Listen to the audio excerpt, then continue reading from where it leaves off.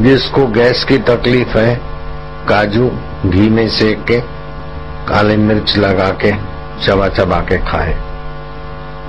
सेंधा नमक और काली मिर्च। वायु की तकलीफ़ में आराम मिलेगा और बल बढ़ेगा। जिसका पाचन तंत्र कमज़ोर है, भूख की वृद्धि करनी हो तो खजूर में अदरक, काली मिर्च और सेंधा नमक मिलाकर चटनी बनाए। भोजन के पहले अथवा सुबह ऐसे ही खा ले, भूख बढ़ाने के लिए।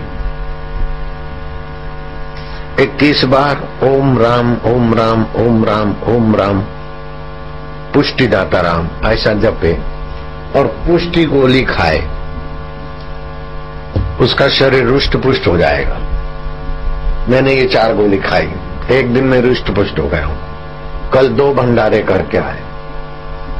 हज़ारों हज़ारों लोगों को, बीसों हज़ारों लोगों को अन्न, कपड़ा, वस्त्र बांटना, सत्संग करना फिर 300 किलोमीटर यात्रा करना और दो जगह पर सत्संग करना। फिर रात को 11 बजे, साढ़े ग्यारह, बारह बजे तक यहाँ रहना। इतना इतना श्रम होने के बाद भी शरीर रुष्ट पुष्ट रहे।